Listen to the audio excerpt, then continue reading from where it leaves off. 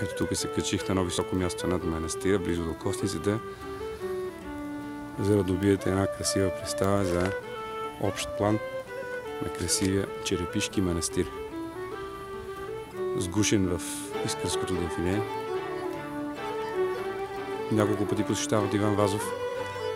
Има специална стая, където той е подсядал и е гледал Искъра и е пишел своите произведения.